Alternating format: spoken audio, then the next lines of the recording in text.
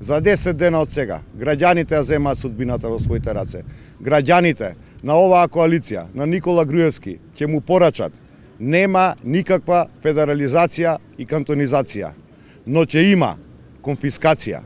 Ке плати Никола Груевски за секое евро кое што го откина од нашите граѓани. Ќе плати Никола Груевски за секоја мал, мајчина солза исплачена навечер за децата кои што заминаа. Ке плати Никола Груевски за секоја непреспана ноќ во странство на нашите граѓани. Од овде од Гостивар порачуваме единствена Македонија, сплотени граѓани, се иднината наша, иднината на нашите деца. Овде сме да го прошириме животот во Македонија.